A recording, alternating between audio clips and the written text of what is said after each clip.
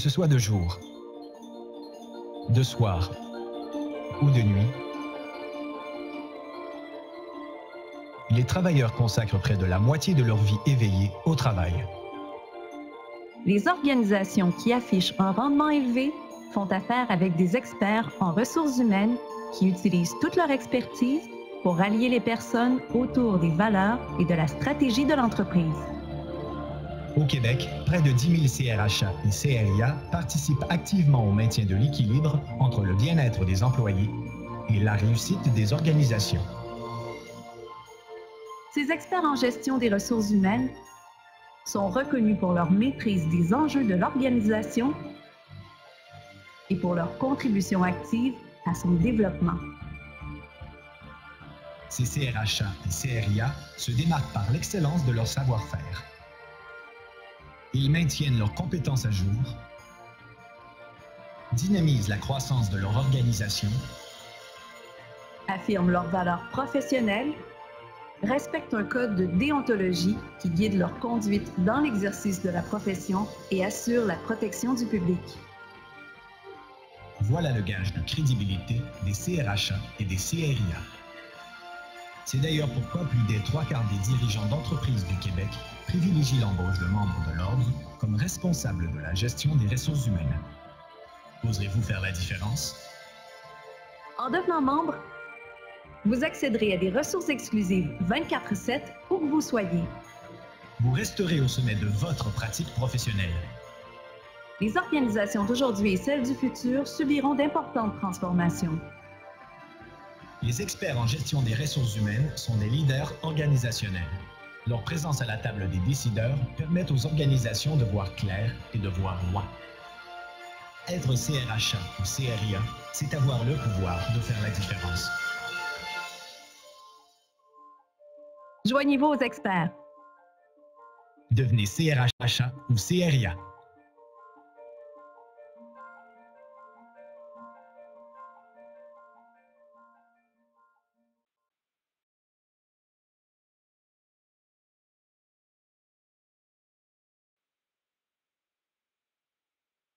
Bonjour et bienvenue au webinaire. Merci d'avoir accepté l'invitation. Alors, je me présente, Marie-Ève Girard, CRHA, conseillère relève et rayonnement de la profession à l'ordre. Je suis en compagnie de ma collègue Amélie Brassard, conseillère recrutement des nouveaux membres. Et aujourd'hui, nous regarderons ensemble la plus-value d'être CRHA et les étapes pour accéder au titre. Ce webinaire sera d'une durée d'environ 30 minutes. N'hésitez pas à poser vos questions durant la présentation. On vous invite d'ailleurs à utiliser la fenêtre réservée à cet effet en bas à gauche de votre écran nous répondrons avec plaisir à toutes vos questions à la fin de ce webinaire. Alors, euh, voici à l'écran le plan de match. Tout d'abord, petite introduction sur la mission de l'Ordre, les avantages de porter le titre et les services qui vous seront offerts. Et pour ma part, je vous parlerai de la demande d'admission, des normes d'admission, de l'examen d'équivalence et des tarifs. Donc, sans ne plus attendre, débutons. Oui. Alors, qui sommes-nous? L'Ordre regroupe près de 10 000 CRHA et CRIA. C'est une grande fierté car nous sommes un ordre à titre réservé et non pas à titre exclusif, tels que les avocats, les notaires ou les médecins, qui sont les seuls autorisés à poser des actes professionnels selon la loi. Donc, il n'est pas obligatoire de porter le titre de CRHA ou de CRIA pour pratiquer la profession, mais c'est aujourd'hui un titre reconnu dans le monde des affaires et par le fait même un atout considérable lorsque vient le temps de se trouver un emploi. Pour votre information, au Québec, nous comptons 26 professions à titre réservé, telles que les hygiénistes dentaires, les conseillers d'orientation, les psychologues et bien sûr nous. Pour terminer, nous sommes le deuxième plus grand regroupement de professionnels RH au Canada, derrière le HRPA en Ontario et le cinquième regroupement RH dans le monde entier. Existant depuis 1973, l'Ordre est le seul organisme à décerner les titres de conseiller en ressources humaines agréés, CRHA, et de conseiller en relations industrielles agréées, CRIA, aux professionnels en RH et en RI. Ces deux titres sont un saut de compétences reconnu par les employeurs du Québec. Pour votre information, il n'y a pas de différence entre les deux titres, c'est vraiment un choix individuel que vous aurez à faire. La mission première de l'Ordre est la protection du public. Euh, pour y arriver, elle se divise spécifiquement en trois segments. Premièrement, les CRHA et les CRIA sont les experts dans leur domaine. Et c'est grâce à leur savoir-être et à leur savoir-faire que les organisations du Québec améliorent constamment leur performance. Deuxièmement, les membres de l'ordre maintiennent leurs compétences à jour, suivent les tendances, restent à l'affût des développements du monde du travail. Ce sont donc eux les mieux placés pour éclairer les décisions organisationnelles reliées au capital humain. Finalement, comme tout ordre professionnel, l'ordre réglemente l'exercice de la profession pour la protection du public. Comment? Par l'établissement de règles et de normes de pratiques professionnelles, et ce, dans le but d'encadrer le travail des CRHA et des CRIA. Statistique intéressante, suite à notre dernier sondage CROP 2016, près de trois quarts des dirigeants d'entreprises du Québec ont indiqué faire davantage confiance à un CRHA ou un CRIA qu'à un professionnel non membre de l'ordre. Et aussi, 82% nous ont dit que travailler avec un CRHA ou un CRIA augmente les chances de réussite de leur organisation. Et pourquoi? Donc, quatre points distinguent un membre de l'ordre d'un non-membre. Tout d'abord, tous les CRHA et les CRIA sont soumis à un code de déontologie qui guide les membres dans l'exercice de leur profession. On retrouve des règles reposant sur des valeurs telles que le respect, la confiance, l'honnêteté. Des devoirs et des obligations telles que la tenue au secret professionnel, le devoir de compétence et d'intégrité, donc de toujours accepter des mandats en prenant compte de ses limites de temps et d'expertise. Ensuite, chaque membre doit se tenir à jour. On parle de 60 heures de formation continue par période de référence de trois ans. Troisième point, l'assurance responsabilité professionnelle protège votre employeur en cas de faute professionnelle et finalement, le processus d'inspection professionnelle, soit la surveillance générale de la pratique, un processus vraiment obligatoire en vertu du Code des professions. Tous ces éléments sont le gage de qualité et de crédibilité d'un CRHA ou d'un CRIA.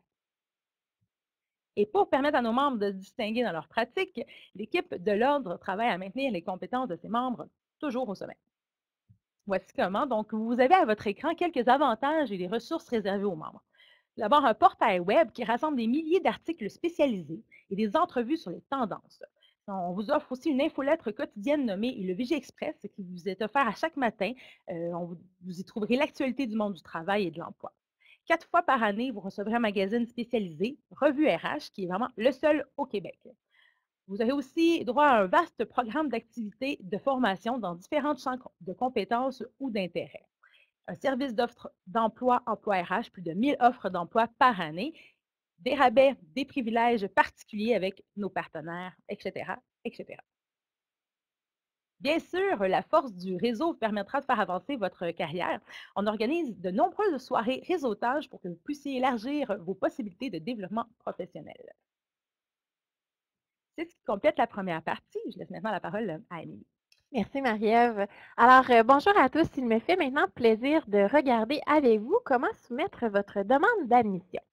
Donc, le titre CRHA et CRIA est, est sujet à un processus d'évaluation très rigoureux.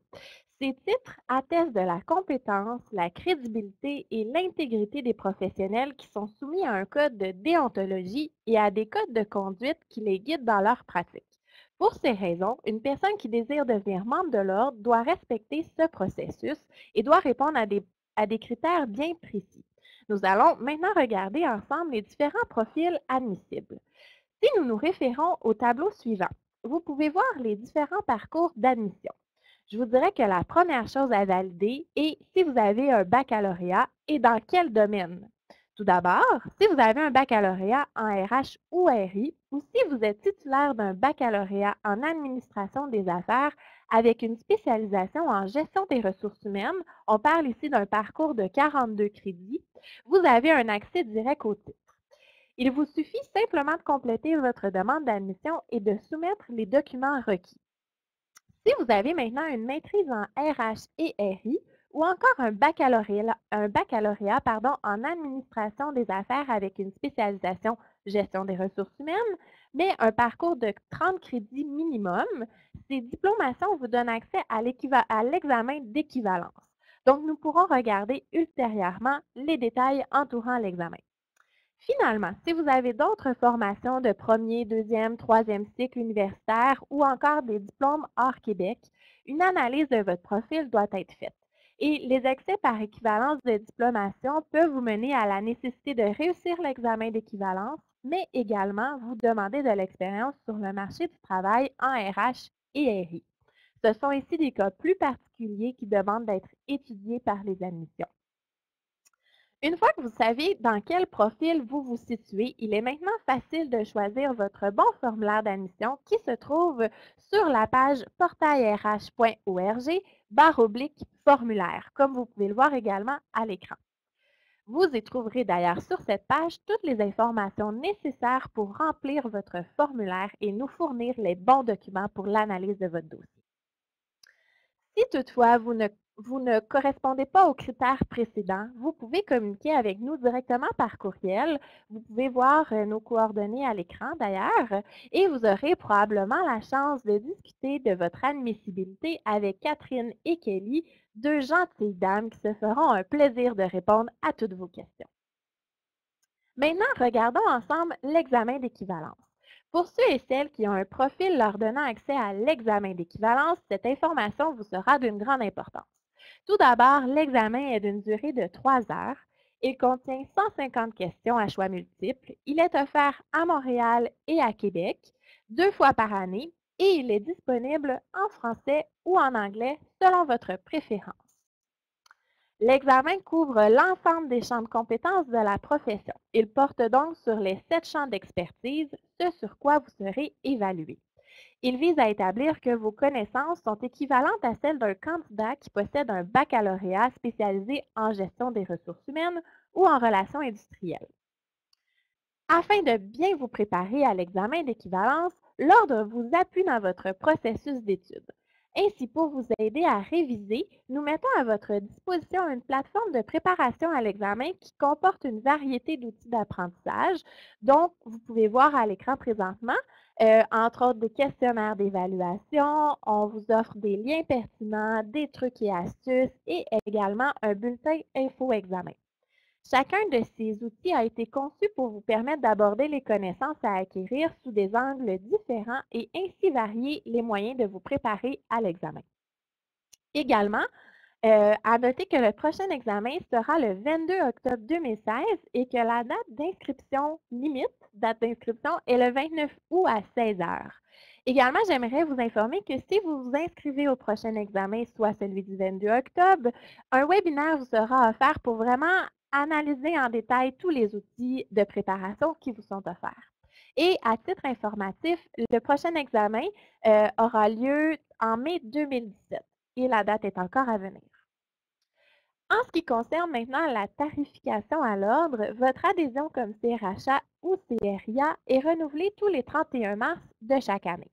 La première chose que vous devez savoir lorsque vous soumettez votre dossier est que vous avez des frais d'ouverture de dossier de 95 Par la suite, si vous devez faire l'examen d'équivalence, vous avez un frais d'inscription à l'examen de 395 plus taxes. En vous inscrivant à l'examen, vous avez ainsi accès à tous les outils de préparation dont je viens de vous parler, mais également tous les outils de l'ordre offerts à ses membres. Une fois que vous avez réussi l'examen, vous aurez la cotisation annuelle à payer et cette cotisation se trouve à être au prorata des mois restants de l'année. Pour ceux et celles qui ont un accès direct au titre, vous avez à payer la cotisation annuelle, toujours au prorata des mois restants de l'année. À noter que la cotisation annuelle est de 672,49 et elle a lieu du 1er avril au 31 mars de l'année suivante. Donc, par exemple, si vous décidez de devenir membre en juillet, le montant au prorata sera de 509,22. J'aimerais également vous faire part que nous avons une tarification avantageuse pour les nouveaux diplômés en RH et RI. Effectivement, tous ceux et celles qui viennent de terminer leurs études à temps plein depuis la dernière année profitent d'un tarif unique à 250 avant taxe, également au prorata des mois restants de l'année. Finalement, j'aimerais vous mentionner que le coût de votre cotisation est déductible dans votre déclaration de revenus. Et j'ai maintenant une bonne nouvelle à vous partager puisque vous avez assisté au webinaire Pourquoi et comment devenir CRHA CRIA nous avons le plaisir de vous offrir gratuitement l'ouverture de votre dossier, une valeur de 95 Pour vous prévaloir de l'offre, nous vous invitons à envoyer votre dossier avant le 29 juillet prochain et à inscrire sur votre formulaire d'adhésion que vous avez assisté au webinaire.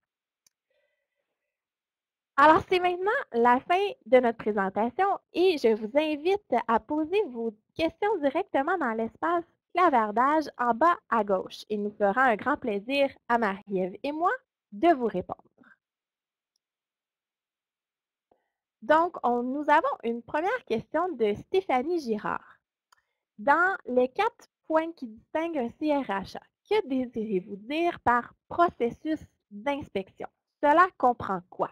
Marie-Ève? Oui, bien sûr. Alors, un processus d'inspection professionnelle, c'est fait de manière aléatoire. Une fois par année, 15% des membres euh, de, l'ordre professionnel euh, doivent, euh, doivent, sont suivis, dans le fond, sont, encadrés. Il y a vraiment une inspection qui est faite sur les lieux du travail du membre. Donc, vraiment, il y a une vérification pour voir si, si la, pratique professionnelle est bien, est bien exécutée, si la tenue des dossiers est bien faite. Alors, vraiment, c'est une vérification de la pratique professionnelle. Merci. Alors, enchaînons avec la question numéro 2 de Annick Lefrançois. Bonjour, dans mon cas, j'ai un bac en communication et une maîtrise en développement organisationnel. Je me situe alors dans le groupe 3. En fait, euh, Madame Lefrançois, c'est sûr qu'on va vous demander de bien analyser votre dossier, mais à la lumière de ce que vous me dites, euh, je crois que vous avez une maîtrise en RH et RI, euh, ce qui vous amènerait alors dans le groupe 2. Donc, vous devriez avoir à faire l'examen d'équivalence. Mais ceci étant dit, euh, une analyse plus complète de votre dossier doit être faite par les admissions. Euh, enchaînons avec la question de Mme Laurence Soucy. Bonjour, si le baccalauréat en RH a été obtenu en décembre, mais qu'on nous n'avons pas signé pour être membre à la fin du programme, doit-on passer l'examen? Merci. En fait, si vous avez terminé votre bac en RH en décembre dernier, vous n'avez pas besoin de passer l'examen euh, et vous avez encore euh, la chance de profiter de la tarification au nouveau diplômé à 250 pour euh, l'année en cours. Donc, je vous invite à soumettre votre candidature très rapidement. Une question de Mme Nathalie Douville. Si le bac autre, est-ce que l'envoi des notes sont toujours nécessaires? En fait, quand euh, vous avez à soumettre euh, votre candidature, si vous allez sur dans la section formulaire du site web, vous, avez vraiment le détail de tout le matériel que vous devez, que vous devez pardon, fournir pour euh, que votre dossier soit complet. Alors, dans votre cas, je vous invite à aller consulter en fonction de votre baccalauréat le, nécessaire qui vous est demandé. J'ai également une question de Madame Saint-Louis. Lorsque j'ai terminé ma maîtrise en GPH, j'étais membre étudiante. Par la suite, je n'ai pas renouvelé. J'ai un BAA et une maîtrise en GPH, maintenant ICO et plus de 15 ans de pratique. Dois-je faire l'examen ou l'expérience peut être suffisante? Écoutez, Madame Saint-Louis, ce que je vous invite à faire, ce serait de prendre nos coordonnées ou à la fin de nous, euh, peut-être nous nous fournir vos coordonnées pour qu'on puisse vous contacter parce que je pense qu'une discussion avec vous par téléphone serait beaucoup plus euh, euh, facile pour pouvoir mieux vous aiguiller. Vous avez un cas euh, plus précis et on aimerait bien y répondre. Et nous avons également une question de M. Stéphane Tremblay. Quel est le taux de réussite à l'examen?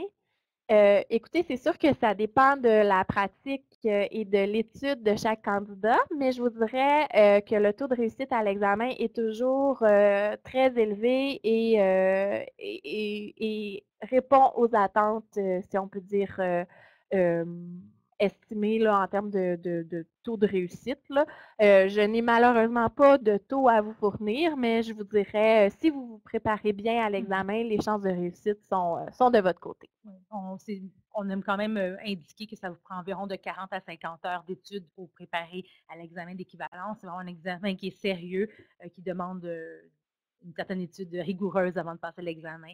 mais lorsque vous appliquez de 40 à 50 heures, habituellement, les taux de, satisfaction et de passation sont, euh, sont, bien. Et je vois qu'on a fait le tour de nos questions. Est-ce que quelqu'un d'autre voudrait s'ajouter à poser une question de dernière minute? Nous en avons une qui se joint à nous. Euh, Madame Angelica Siokanu, je m'excuse si j'ai mal prononcé votre nom de famille. bonjour, suis dans euh, je suis dans un congé de maternité. Est-ce que c'est le même prix pour cette année? C'est une excellente question. En fait, si euh, vous devenez membre de l'ordre, la tarification pour un, euh, un nouveau membre est la même. Par contre, si vous étiez membre de l'ordre et vous étiez en congé de maternité, évidemment, nous offrons une, tarification particulière pour euh, nos membres qui sont en congé de maternité. Mais pour les nouveaux membres, la personne doit se soumettre à la tarification qui est présentement en vigueur. Nous avons une autre question qui s'ajoute de Mme Stéphanie Girard si je comprends bien, avec un bac en RH-RI me permet de passer CRHA automatiquement, mais je dois souscrire dans un délai pour avoir à faire l'examen. En fait, si vous avez le baccalauréat en, relations industrielles ou en ressources humaines, à ce moment-là, oui, vous avez accès directement au titre. Est-ce que vous devez souscrire dans un délai pour pouvoir faire non? Alors à ce moment-là, car vous avez le baccalauréat qui amène directement vers le titre CRHA ou de CRIA.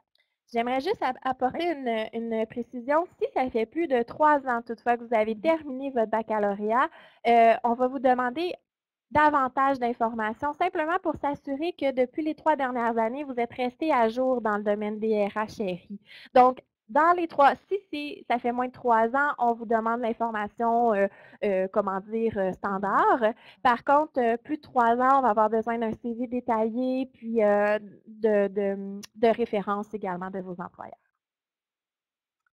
Nous avons une question de Mme Laurence Soucy. Sur le formulaire d'inscription, l'Université du Québec à Rimouski n'apparaît pas dans les choix.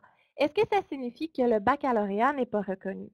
En fait, ce que ça signifie, c'est que euh, ceux qui apparaissent dans des choix, je ne sais pas de quel euh, type d'inscription vous parlez. Par contre, il euh, faut vraiment se fier au nom des universités. Donc, ça veut dire tout simplement que vous embarquez peut-être pas dans les 42 crédits qui vous donnent un accès direct au titre, mais que votre baccalauréat est reconnu et vous apporterait peut-être, vous demanderait peut-être de faire l'examen. Je vous invite toutefois peut-être à, à contacter, comme je parlais, Catherine et Kelly, à nos coordonnées qui sont présentement à l'écran, puis elles pourront regarder avec vous le, détail sans problème. Est-ce que nous avons d'autres questions auxquelles on pourrait vous aider, répondre? Je crois que nous avons fait le tour.